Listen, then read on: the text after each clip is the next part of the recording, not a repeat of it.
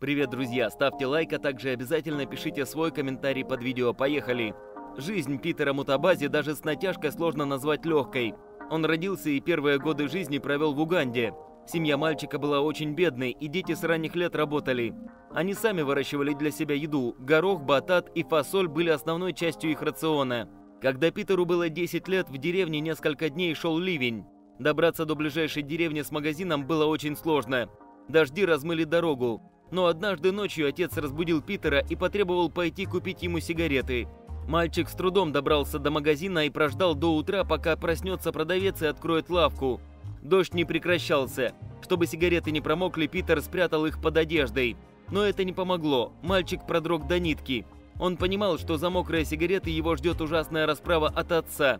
Тогда Питер принял самое страшное и самое важное решение в своей жизни – не возвращаться домой. Его ожидали годы мытарства и бед. Но Питер достиг своей цели. Он выбрался из нищеты. Мужчина обосновался в Оклахоме, где стал одним из самых уважаемых людей в своем городке. Он купил роскошный дом и поселился там со своими домашними питомцами. Но мужчине не давало покоя одно. В его доме целых четыре пустых спальни, в которых могли бы жить дети, лишенные родительской заботы и любви. Тогда Питер впервые задумался об усыновлении. Но пока на такой серьезный шаг он решиться не мог. Он отправился в агентство по усыновлению и стал временным родителем.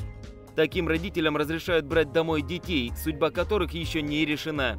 Обычно еще решают, куда, в какой город или даже страну отдавать их на усыновление. Поскольку Питер не был женат, ему разрешили брать к себе только двоих детей. Как рассказывает мужчина, за три года у него жило 12 детей разных возрастов, рас и религий. Но однажды вечером произошла ситуация, которая изменила жизнь Питера, разделила ее на до и после. Ему позвонила социальная работница из центра и спросила, «Вы не согласитесь взять к себе мальчика? На выходные, ему всего 11 лет». Питер согласился. Мальчика по имени Энтони к нему привезли в 3 часа ночи из другого штата. «Можешь называть меня Питер?» – улыбнулся мужчина, знакомясь с ребенком. Но уже через 20 минут парнишка спросил Питера, можно ли называть его папой. Мутабази, конечно, согласился. Первое время ему было очень сложно привыкнуть к этому, но позже он и сам начал называть его сыном. Как оказалось, в двухлетнем возрасте родители отдали его в приют. Позже Энтони усыновила религиозная семья, которая жила в каком-то заброшенном поселении, как первобытные люди. Энтони заставляли работать с трех лет, морили голодом, а отец, который был в своей общине главным, нередко распускал руки. Мать, тихо ненавидящая всех своих детей, даже биологических, не обращала на это никакого внимания. Мальчик сбежал от них. Некоторое время Энтони жил на улице.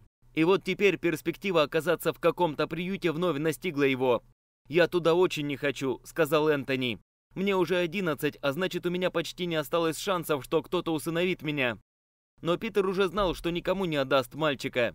С самой первой минуты, признается он, я понял, что Энтони мой сын. У нас с ним даже судьбы похожие. Думаю, в наших далеких от цивилизации поселениях жизнь текла примерно одинаково. Когда в суде объявили решение об усыновлении, фотограф запечатлел Энтони и Питера. С тех пор он считает, что это его лучшая работа. У меня не было проблем с усыновлением, признается Питер. Я веду порядочный образ жизни, и здесь меня почти все знают. А Энтони уже слишком взрослый. Работники приюта понимали, что найти ему другую приемную семью будет довольно сложно. С тех пор отец и сын неразлучны. Питер признается, что готов сделать все, лишь бы его мальчику никогда не пришлось заново пережить ад своего детства. Несмотря на жуткие воспоминания, Энтони растет совершенно беспроблемным мальчиком. Он обожает читать книги и в будущем мечтает стать физиком, чтобы изобрести машину времени и телепорт. «Зачем тебе машина времени?» – как-то поинтересовался Питер. «Тогда я смогу многое исправить в этом мире», – серьезно ответил Энтони.